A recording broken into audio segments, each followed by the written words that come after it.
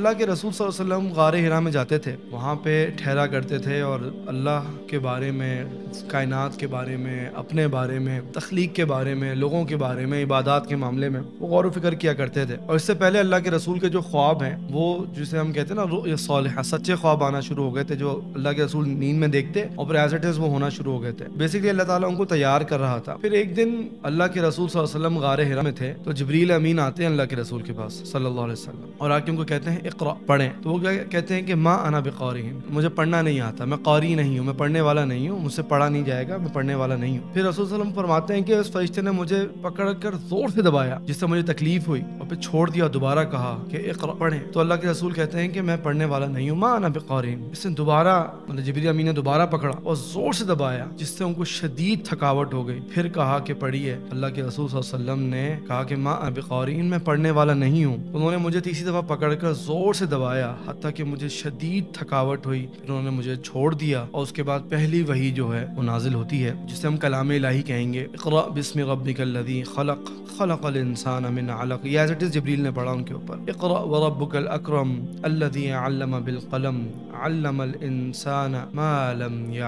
अब ये जो स्टेज है ना, ये अल्लाह के रसूल की ज़िंदगी के अंदर भी, और जब मैं इसको देखता हूँ अपनी ज़िंदगी में रख के, अगर आप देखें ना, अल्लाह के रसूल की जो प्यास थी सल्लल्लाहु अलैहि वसल्लम, उस एस्पेक्ट से, इतने सालों के सवालात, सालों की तशनगी सालों की कंफ्यूजन सालों के जो है ना मसाइल, और जो नॉट्स हैं, वो सॉल्व नहीं हुई हुई हैं। इसके बाद एकदम से अल्लाह ताला जो है ना, उस रास्ते को, उस वही को खोलते हैं, और उसकी फिर इब्तदा होती है। जैसा कि मैंने प्रीवियसली बताया कि अल्लाह के रसूल मोहम्मद कई ज़माने के बाद मतलब अगर आज भी हम देखें ना कि हमारा जो हिजरी कैलेंडर चल रहा है फोर्टीन सेंचुरी का, और जो हमारा एडी कैलेंडर है after death of Jesus Christ जो है, जो जिसे हम ईस्वी कैलेंडर कहते हैं, वो हमारा चल रहा है अराउंड 2000 के अंदर। तो ये 600 साल का गैप है, कमो बेश। तो 600 साल का प्लस माइनस जो गैप है, उसके बाद एक वही आ रही है। और इसको मैं उधर से भी जोड़ता हूँ, जब अल्लाह के रसूल इस दुनिया से जाते हैं तो सहाबा की जो है ना, दो किस्म की कैफियत थी। एक कैफियत ये थी कि उनको अल्लाह के रसूल का जाने का जो है बहुत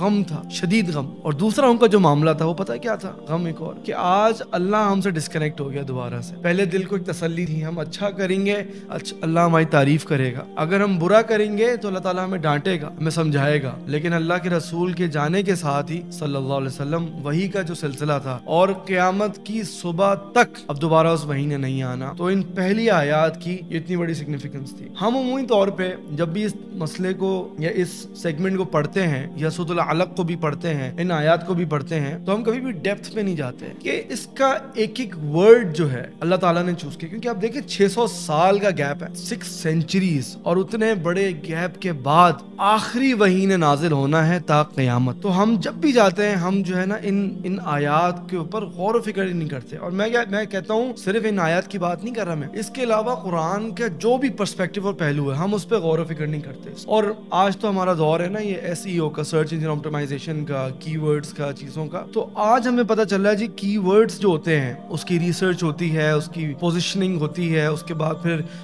लॉन्ग टेल जो है ना, वो कीवर्ड्स होते हैं, फिर जो है ना शॉर्ट टेल्स अलग होते हैं। तो ये पूरी आज हमें पता चल रही है कि इसकी क्या क्या इंपॉर्टेंस है, और इसकी सिग्निफिकेंस कितनी बड़ी है। लेकिन जब हम कुरान को पढ़ते हैं तो हमारे साथीदा ने हमें यही समझाया कि बेटा ये एक एक वर्ड एक एक लफ्ज एंड प्लस उसकी प्लेसमेंट उसकी क्रोनोलॉजी ये कुरान में इतनी इंपॉर्टेंट है, इतनी इंपॉर्टेंट है कि अल्लाह ताला ने जो चीज़ पहले बयान की है, वो क्रोनोलॉजी उसकी प्लेसमेंट उसकी पोजिशनिंग उसके अंदर फजीलत ज़्यादा होती है। जो बाद में बयान की है, उसकी फजीलत अमूमी तौर पर कभी कम होती है। या फिर कभी अल्लाह ताला जो पहले बयान करते हैं और बाद में बयान करते हैं, उसके अंदर जमानों के अतबार से भी फ़र्क आता है। तो इस तरह इसकी डिफरेंट जिहात है, इसको समझने की पोजिशनिंग की, कि जो पहले आ रहा है, जो दरमियान में आ रहा है, जो आखिर में आ रहा है, इसको हम ऐसे नहीं लेके जा सकते कि बस पहले बाद में, दरमियान में नहीं। अल्लाह ताला ने एक हिकमत रखी है इसकी। और कुरान का, मैं तो कहता हूँ, जो एक एक एक लेटर है, उसकी बड़ी हिकमत है। कि अल्लाह ताला ने जो पहली पहली आयत नाजिल की, वो क्या थी? इकरा बिस्मि रब्बिकल्लज़ी खलक। इकरा मतलब पढ़ो। बिस्मी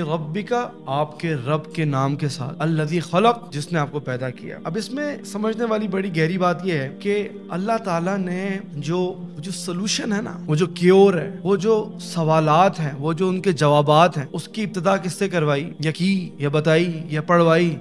पढ़ो। और आज मैं समझता हूँ, हमारे मुसलमानों के अंदर, उमूमी तौर पर जो चीज़ मैं देखता हूँ ना कि हमारे पढ़ाई का फुकदान है। मतलब हम लिटरेसी के अंदर कैसे पीछे हो सकते हैं, जबकि हमारे, हमारी आखिरी किताब का पहला वर्ड ही पढ़ो रीड इट पहला वर्ड और उसके बाद हम कैसे अपने आप को जो है ना बर्दाश्त कर सकते हैं? हम कैसे अपने आप को फेस कर सकते हैं? हम कैसे ट्रू और गुड मुस्लिम बन सकते हैं? जबकि हमारी इब्तदा इकरा से होती है। और आगे भी जो कुरान की जो हमें आयत आती है वह अल्लाह बिल कलम. एक जगह है पढ़ना और एक जगह है कलम का तस्करा किया अल्लाह ताला की तुम्हें जो नॉलेज दी अल्लाह ताला ने, तुम्हें जो इल्म दी अल्लाह ताला ने, वो कलम के साथ दिया है, वो पेन के साथ दिया है। इसके ऊपर ना इबिन कसीर रही कहते हैं कि इल्म जो होता है, वो तीन किस्म का एक इल्म वो होता है जो जहनी होता है, जो हमारे माइंड के अंदर होता है। और एक इल्म वो होता है जो हम अपनी ज़ुबान से बयान करते हैं, लफ्जी कहते हैं इसको। और थर्ड इल्म वो होता है जो रस्मी होता है। जिसका कोई ना कोई फॉन्ट रस्मुल खत, उसको आप किसी फ़िज़िकल एग्जिस्टेंस के अंदर लेके आते हैं। ये दो जो है ना, ये टेंजिबल नहीं है। एक मेटाफोरिक फॉर्म के अंदर है अनटेंजिबल फॉर्म है। सेकेंड एक ऑडियो फॉर्म के अंदर है, जिसको हम बोलेंगे, अदा करेंगे। थर्ड एक टेंजिबल है। तो अल्लाह ताला ने अल्लाह के रसूल को क्या किया? पढ़वाया और अल्लाह बिल कलम लिखवाया। तो अगर हम इसको इस तरह देखें लेट सपोज़ एक चीज़ लिखी हुई है तो लिखी हुई चीज़ जो है ना, वो उन दोनों प्रोसेस से गुजर के आई है कि उसको सोचा भी गया है, वो माइंड के अंदर भी एक अनटेंजिबल फॉर्म के अंदर है, और उसको फिर बोला भी कहीं ना कहीं गया इंसान जब कोई चीज़ लिखता है ना, वो कहीं ना कहीं उसको अदा ज़रूर करता है, चाहे वो दिल से अदा करे, चाहे वो उसको ज़ुबान से अदा करे, उसकी अदायगी ज़रूर होती है, उसका एक्सप्रेशन ज़रूर होता है, और फिर उसको फिजिकली एक्सप्रेस किया जाता है। तो ये सबसे कॉन्सिक्वेंट ये लास्ट फॉर्म है। तो अल्लाह ताला ने उस पूरे के पूरे इल्म को जमा कर दिया इस सूरत के अंदर। सेकंड थिंग अगर आप इस चीज़ को देखें, अल्लाह ताला ने अपना बिल्कुल फ़र्स्ट फ़र्स्ट इंट्रोडक्शन ये नहीं कहा कि इकरा बिस्मी, बिस्मिल्लाह। अल्लाह ने कहा, बिस्मी रब्बिका। अल्लाह ताला ने लफ्ज अल्लाह इस्तेमाल नहीं किया, जो कि उसका जाती नाम है। अल्लाह ताला ने लफ्ज रब इस्तेमाल किया, कि मैं तुम्हारा रब हूँ। और उसकी इजाफत भी कर दी अल्लाह के रसूल की तरफ़, कि मैं तुम्हारा रब हूँ। तुम्हारे अलावा किसी और की बात नहीं है, तुम्हारा रब हूँ मैं। और उसके ऊपर जो है ना, इमाम राज़ी फरमाते हैं रही कि ये अल्लाह ताला ने इस वजह से फरमाया, इस वजह से किया, क्योंकि वो जो पहला पहला एक झटका है ना, इतना बड़ा इतना बड़ा जो प्रेशर है वो इस वजह से है कि इंसान डर जाता है। और अल्लाह के रसूल की जो कैफियत है जैसे कि मैंने प्रीवियसली बताया कि उनको जब झंझोड़ा शदीद थकावट उनको वीकनेस हुई क्योंकि उसका बर्डन इतना ज़्यादा था। और कुरान में भी कहते हैं अल्लाह ताला कि हम आपके ऊपर जो है ना वज, वजनी वही को वज़न बोला गया। तो वही जो है ना ये बड़ी वजनी चीज़ है ये कोई हल्की चीज़ नहीं बड़ी जलाली चीज़ है ये। हमारे यहाँ लोग कॉन्सेप्ट है जी जो ज़िक्र अदकार है बड़े जलाली है। ज़िक्र अदकार जलाली नहीं होते वो नर्म होते हैं। वो अल्लाह के यहाँ बड़े वजनी होते हैं लेकिन जो वही का इल्म होता है बड़ा गहरा होता है। अल्लाह ताला ने अपना तारुफ ही अपना जो उसका जलाली नाम है, अल्लाह उससे नहीं कराया, बल्कि अपना सिफाती नाम है कि मैं तुम्हारा रब और यही तारुफ अल्लाह ताला सूरह यूनुस में भी मैंने देखा है, अल्लाह ताला कराते हैं कि न रब्बकुम अल्लाह खलक समावाति कि बेशक तुम सबका जो रब है ना, वो अल्लाह है। तो अल्लाह ताला अपनी रबूबियत को उमूमी तौर पर मैंने देखा है कि मैं रब हूँ, मैं रब हूँ, मैं रब हूँ। रब का मतलब क्या होता है? कि मैं तुम्हारा खालिक भी हूँ, मैं तुम्हारा मालिक भी हूँ, मैं तुम्हारा राजिक भी हूँ, मैं तुम्हारा हाकिम भी हूँ। माजिन फिया हुक्म रब होने का मतलब क्या है? माजिन फिया हुक्म मेरे जिसम पे, मेरी पूरी छोटी सी कायनात पे जो हुक्म चलता है, वो अल्लाह का चलता है। ये है मतलब इसका। मुझे बनाने वाला अल्लाह है। मुझे रिस्क देने वाला मेरी, मुझे साँसें देने वाला अल्लाह है। मेरा जो ओनर है, मेरे सुनने का, मेरे देखने का, मेरे ईच एंड एवरी ऑर्गन का, वो कौन है अल्लाह है? अल्लाह ताला ने इतना बड़ा तारुफ जो है ना, अल्लाह के रसूल कराया।